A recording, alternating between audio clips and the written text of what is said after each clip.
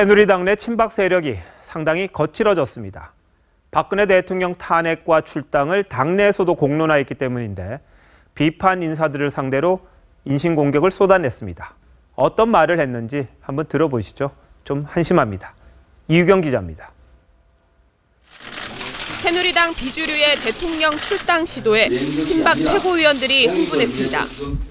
대통령을 출당시키려 하는 것은 그야말로 정치적 폐륜행입니다. 즉각 중단하시기 바랍니다.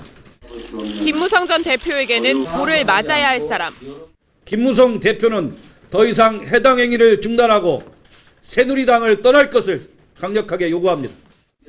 남경필 경기지사에게는 지역구 세습 정치인이라고 독한 말을 쏟아냈습니다. 팔선 부자를 정치적으로 성공시켰던 당에 돌을 던지면서 탈당 운운하는 것은 이정현 대표는 새누리당을 상한 정부. 가해성 비유까지 했습니다. 상한 국 안에 있는 것이면 그게 국이든 건배기든 그게 시금치든 무든 손님 입장에서 국민 입장에서 봤을 때는 다 거기서 거기인 것입니다. 친박 지도부는 박 대통령 징계를 요구한 비주류 의원들을 오히려 윤리위에 회부할 태세입니다. 당연히 박 대통령 징계 요구에는 응하지 않을 계획입니다.